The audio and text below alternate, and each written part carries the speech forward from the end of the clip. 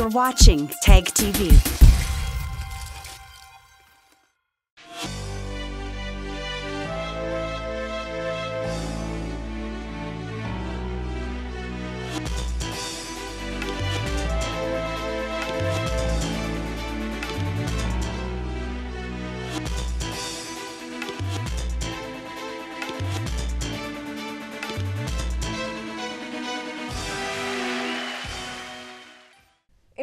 Is well known around the world owing to its historical background, diverse cultures, and interesting traditions. Its ancient scriptures and texts have been the way of life of its people for thousands of years. Today, the country is taking huge strides in the field of science and technology, paving a way towards a progressive India. So, friends, I'm your host Shreyasa Vijay, and today in our episode of My India, we'll take a look at some of the stories that very well showcase the unique culture and prosperity of our country, stretching from Himalayas to Kanyakumari.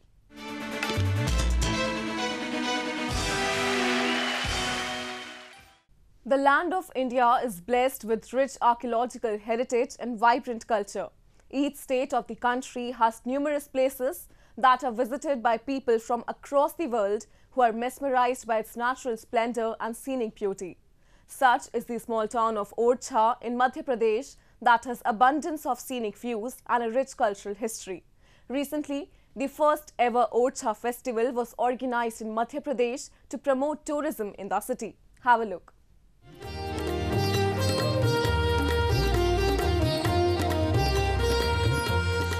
With a vision to preserve the culture and heritage of the city of Orchha, a new festival titled Namaste Orchha was recently organized in the state of Madhya Pradesh.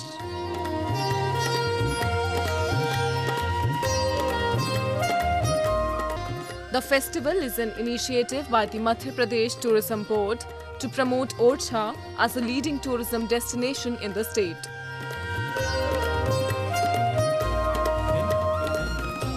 चौरासी लगभग हमारे heritage property हैं।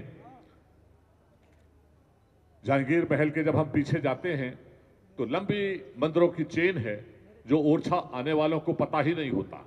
इसीलिए छुपा हुआ ओरछा है। एक नहीं, अनेकों ऐसे मोन्यूमेंट्स हैं जो जंगल के अंदर हैं। ओरछा सेंचुरी भी है, चार नदियाँ हैं, तीन नदियों का संगम है, और जंगल के अंदर वो टापू बनाते हैं। ये सारी विशेषताएँ ओरछा में हैं।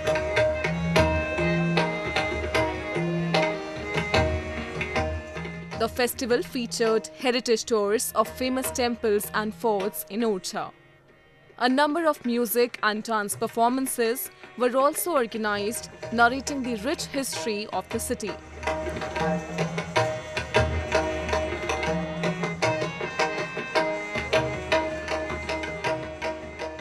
Eminent personalities like Shubha Mudgal, Gauahar Khan, and Swara Bhaskar graced the festival with their presence.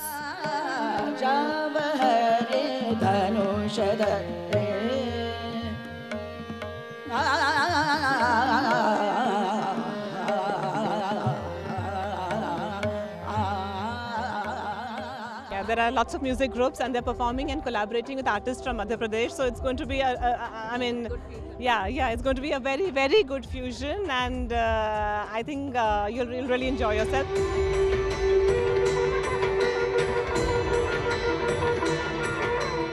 A Maharati was organized on the banks of river Betwa to offer prayers to the holy tributary.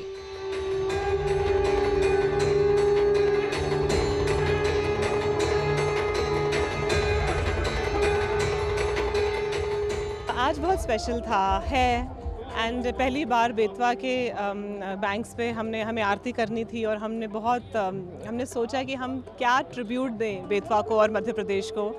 And I think Aditi Mangaldas Shubha ji and the prayer which came together it was it was beautiful for me it was personally a very emotional moment when the prayer went up for Orchha because this town is very special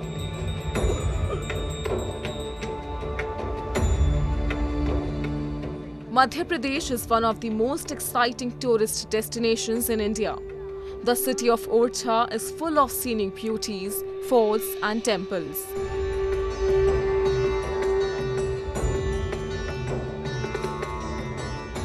It has also won the Best Heritage City Award at the National Tourism Award in the year 2017-18 and is a part of the Golden Triangle Tour that covers some of the famous temples in the north.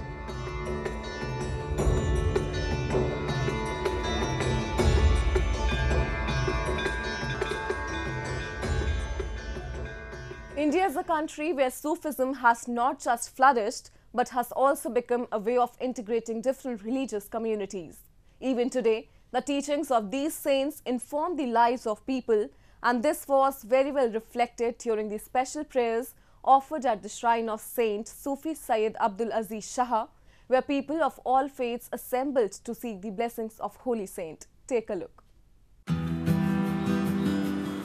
Situated in Kanpur district of Uttar Pradesh, the shrine of Sufi saint Sayyid Abdul Aziz Shah has served as a cynosure of communal harmony for generations which is thronged by a large number of devotees every day from across the city irrespective of their religion. Regarded as one of the greatest Sufi saints, Sayyid Abdul Aziz Shah throughout his life spread the message of Sufism and peace. People of different faiths attend this shrine and offer their prayers to the saint to perpetuate his teachings of oneness and communal harmony. हर मज़हब के लोग आते हैं उन्होंने जब जीवित थे जब भी हर धर्म के लोग आते थे उनके पास आज वे सूफी जो होते हैं सूफियों के पास सब सब आते हैं सब एक था है सब बंदे हैं अल्लाह के ईश्वर के अल्लाह के एक ही बात है। Coming from far and wide these devotees attended the prayers to seek the blessings of holy saint it is believed that saint fulfils the wishes of all and nobody returns empty handed from here Sufi Syed Abdul Aziz Shah की मजार रही है इनसे जो मांगो वो मिलता है। तीन चार साल से आ रहा हूँ। जो मांगा वो मिला। ऐसा कुछ भी नहीं है हिंदू मुस्लिम कुछ नहीं सब तो एक हैं सारे रूप एक हैं बस नाम अलग अलग दे दिए गए हैं चाहे हिंदू हो चाहे मुस्लिम मैं भी हिंदू हूँ मैं भी यहाँ पे आया हूँ Since ages, the Sufi saints like Sayyid Abdul Aziz Shah have propagated the message of spiritualism and harmony in our country, and their teachings are still playing a significant role in strengthening the thread of secularism. Now, a roundup of some of the major stories that made news recently.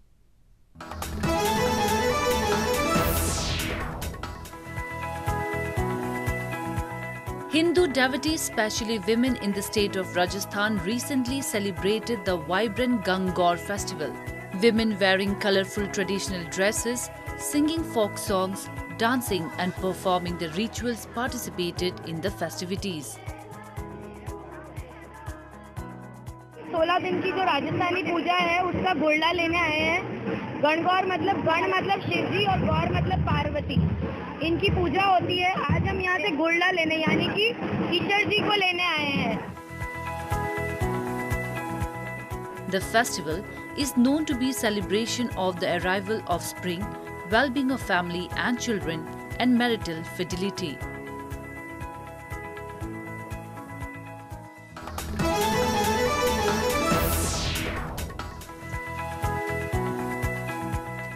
Fashion designing students use natural fabrics, upcycling, and hand painting to promote green fashion and Indian fashion techniques in the recently held Bombay Times Fashion Week. Model in Miss World Asia 2019 and second runner up Suman Rao turned showstopper for fashion students, wearing dress made of raw silk with hand painted motifs. dress that you are seeing me right now wearing. It, uh, it has hand painting on the dress, on the outfit, and is done by those women. So I'm actually, I felt really proud and uh, I'm grateful to them for choosing me to wear this particular outfit and walking on the ramp, uh, slaying this outfit on the ramp. And I feel that uh, this was the best experience throughout my uh, journey on the ramp. Students from another college too used upcycling as their theme as they designed dresses with scrap fabric, one of which was worn and showcased by Indian model and beauty pageant title holder Avitri Chaudhary. The eco-conscious designers hope the trend would expand in the world and there is a need to bring in green sensibilities into their fashions.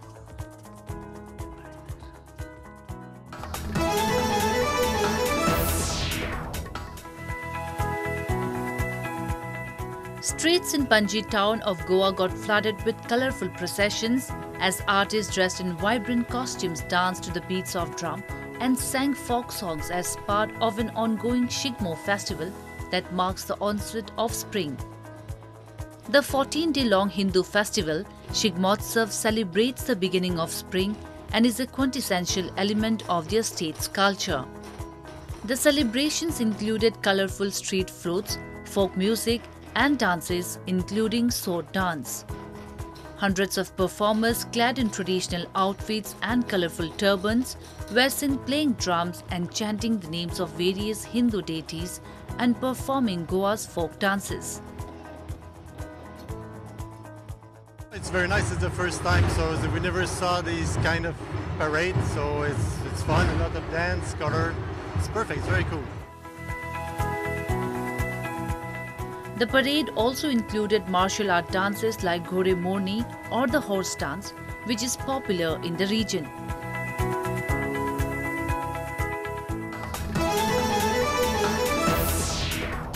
Today in our section of Asia Buzz, we will explore the beautiful beaches, streets and towns of Japan that are truly a retreat for both domestic and foreign visitors.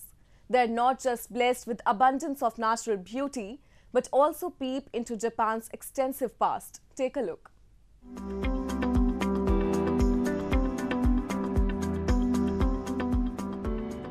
Kamakura, a coastal town in Kanagawa Prefecture, is popular for its beach and provides visitors a glance into Japan's extensive past with its temples, shrines, and other historical monuments.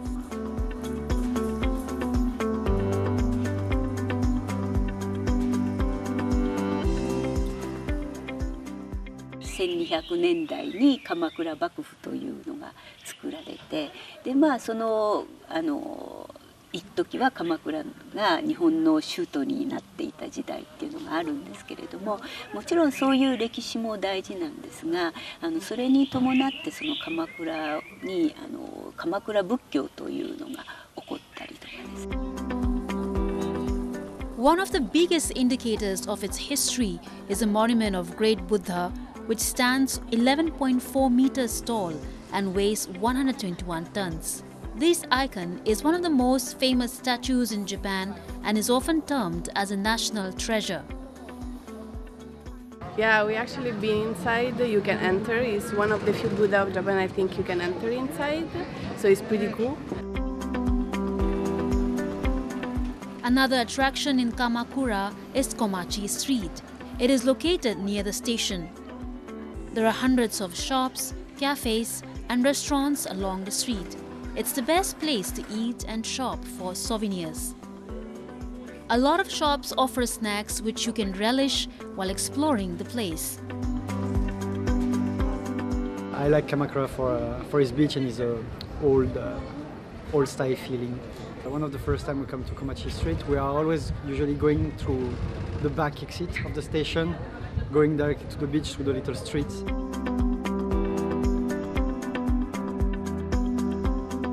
This Yuigahama beach is a hotspot for the residents and tourists all year round. It is a 3.2 kilometer long beach located at the south coast in Kamakura city. It can be accessed from Kamakura station by walking for 20 minutes.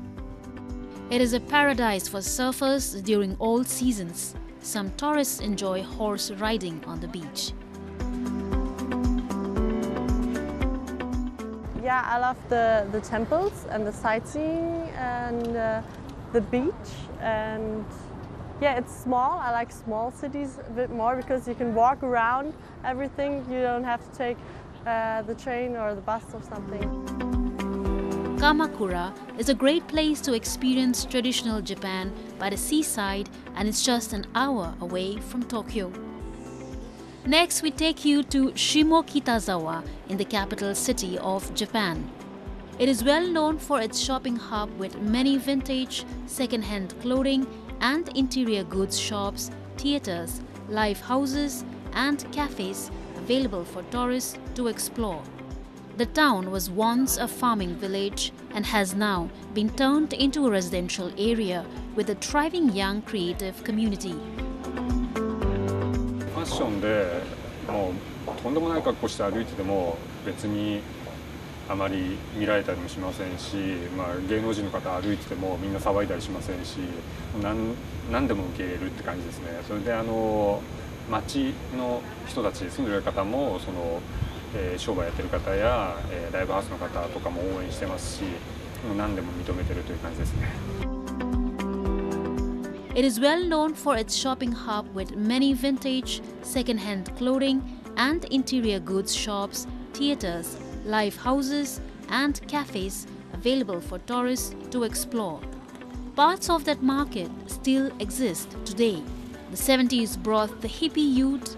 Afterward, it has changed to very characteristic town.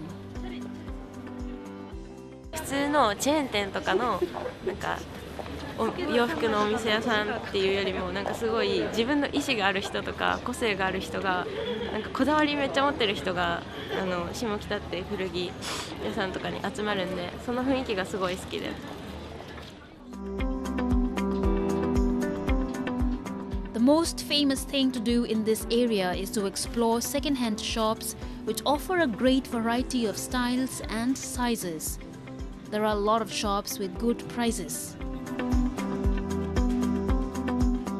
I really like it because it's it's uh, quiet, it's calm, uh, it's a lot more.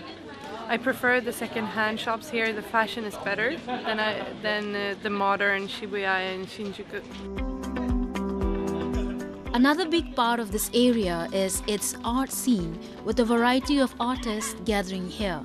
Comedian artist and renowned music singer, distinctive artists from various backgrounds come together Live houses are also a great opportunity to see the local talent as well as a great way to get a glimpse into the creative community here. 人が何よりあったかいっていうのと、まあ、こうやっていろんなアーティスト仲間とかと出会ってやっぱ音楽が大きいっていうだけあっていろんなアーティストが集まる場所なのでそこでいろんな仲間とか友達とかができてなんかそれがすごい良かったなと思います。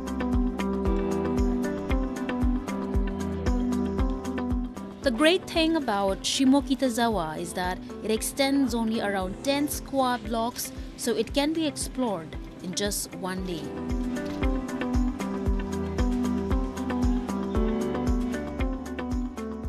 Being home to more than 1.24 billion denizens who belong to different castes and communities, India displays an amazing characteristic of mutual tolerance and peaceful coexistence. Examples defining this unique identity of the country are to be found at its every nook and corner. So today, we take you to Rajkot, a city of Gujarat, to witness one such exemplary of religious harmony that narrates centuries-old bond of two different faiths.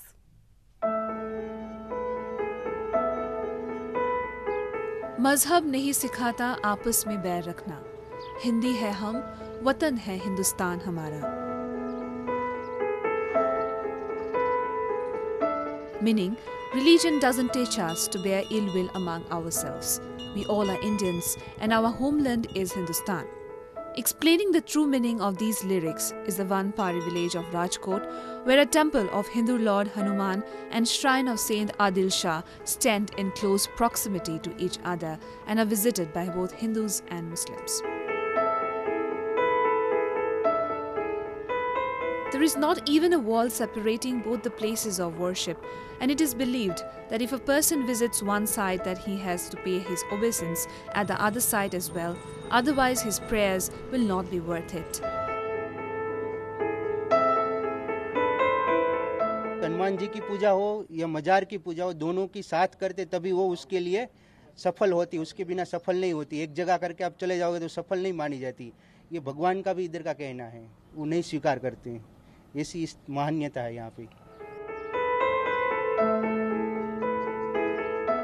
Interestingly, there is just one priest taking care of both the temple and the dargah. His name is Sahamgar Muhammad Shah and he is serving the holy sites for the last many years.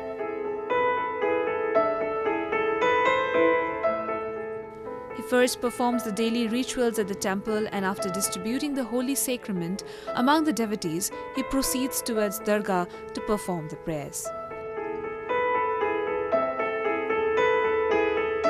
Striking a balance between the two, he visits both the sites to help devotees perform their respective rituals in perfect harmony.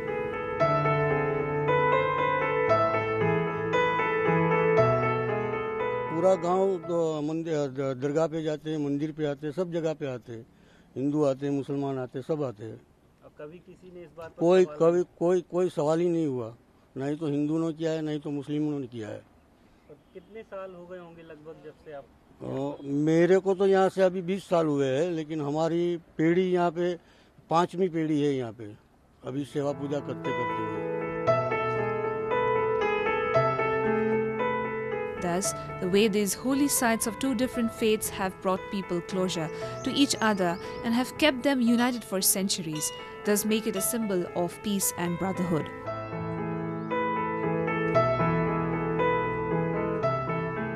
Those who want to pull out the adventure junkie in them and give themselves an adrenaline rush, Gulmarg can be the most sought after destinations for such thrill seekers. Skiing on the snowy slopes of this beautiful hill station can make up for the most amazing experience of a lifetime. So, tapping this potential for adventure tourism in Gulmarg, ski courses have lately been introduced in the town to attract the enthusiasts.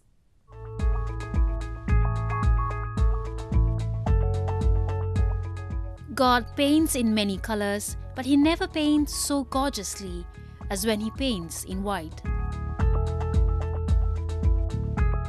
Making these words of G.K. Chesterton a reality is the mesmerizing town of Gulmarg, situated in the Baramulla district of Jammu and Kashmir. The snowy slopes of this town can give you the real thrills when you speed downhill with your ski accessories. Now, in order to make these experiences even more wonderful, skiing courses have been introduced lately in Gulmarg, which will not just help the ski lovers to hone their skills, but will also give a required boost to adventure tourism in the town.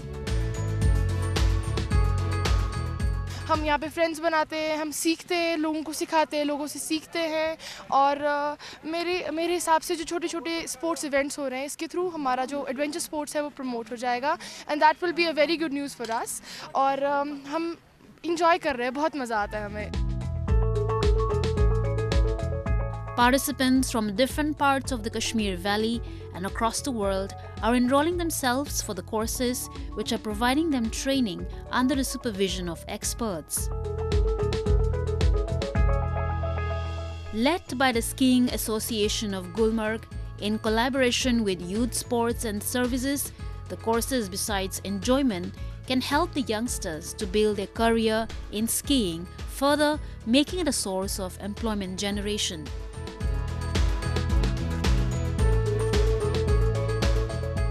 इसमें तो बहुत ही बढ़िया scope है पहले national state यहाँ पे state district हो रहा है फिर नेशनल्स के लिए जा सकते हैं हम नेशनल्स के बाद इंटरनेशनल के लिए जा सकते हैं उसके बाद ओलंपिक्स में हम जा सकते हैं इसमें बहुत ही बढ़िया स्कोप है स्कीइंग में But it takes a lot uh, to develop a good ski station. I know this because in France we have uh, we have uh, we have many ski stations. It takes a lot of infrastructure and a lot of kilometers of slopes. So I think uh, it's still uh, a while until Gulmarg or other stations in India can become very big. As skiing is a popular adventure sport and Gulmarg boast of being the India's leading ski resort, introducing such courses will not just help in drawing the adventure seekers to the town but also in promoting its tourism industry.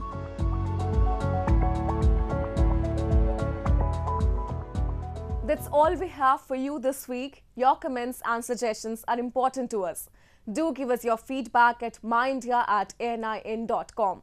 I'm your host Shreyasa Vijay and it's goodbye from the entire production team.